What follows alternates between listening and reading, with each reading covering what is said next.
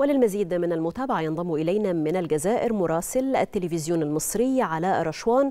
علاء بعد تحية ضعنا في آخر التفاصيل الخاصة بالاستعدادات الأخيرة للقمة العربية وما تتناوله من ملفات وذلك يعني قبل دقائق قليلة من انعقاد القمة العربية. نعم ريهام وصل السيد الرئيس عبد الفتاح السيسي منذ قليل إلى مقر انعقاد القمة العربية في قصر عبد اللطيف رحال وهو قصر المؤتمرات.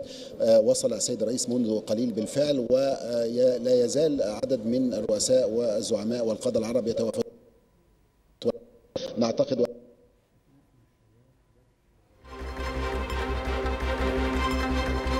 كل الزعماء الدول العربية لا زلنا في انتظار